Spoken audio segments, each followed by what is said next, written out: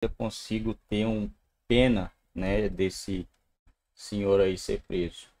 É, não sei como, mas fico um pouco assim comovido por ele ser preso, né? Mas é, por tudo que foi dito aí, é, pelo jeito não vai dar para escapar ele da prisão, né?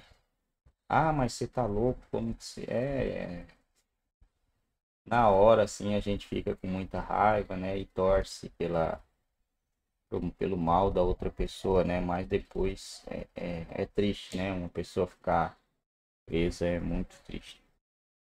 Sabendo que tem outras pessoas que deveriam estar ali, né? Outras pessoas que têm uma responsabilidade maior do que a dele, e como diz o deputado, está sendo usado como bode expiatório, né? Bode expiatório, muita gente pode não saber, é aquele boi que você lança lá primeiro para passar a manada. Né? Você lança o boi lá no rio que tem piranha, ela vai lá, macho, faz um corte nele, ela, as piranha vai atrás comendo ele, a manada passa aqui em cima.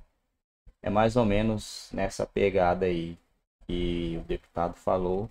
Parece também que é o que está acontecendo, né? Infelizmente.